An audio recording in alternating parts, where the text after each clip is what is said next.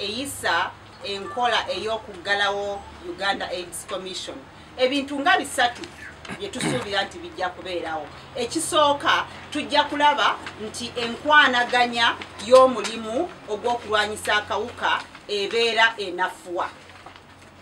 Ekyo eyo enkola eyo bwenafuwa kiki ekiddako? Ekiddako tujja kulaba nti omuwendo gw'abantu abakwatibwa obulwadde bwa akawuka gweyongera ekiddako tujja kulaba nti omuwendo gw'abantu abafa olw'obulwadde bwa kawuka gweyongera. Ekirala ekigenda okubeerawo kwe kulaba nti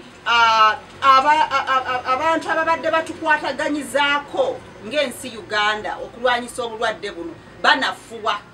Emirimu gyaffe gyonna gyonna obwetaavu bwaffe bwonna bwonna babutwale butereevu mu kitongole ekyebyobulamu kyebayita ministry of health neffe ng'abantu abalina akawuka ka mukenenya tuli bennyamivu nnyo era tugenda kuluma n'ogwengulu.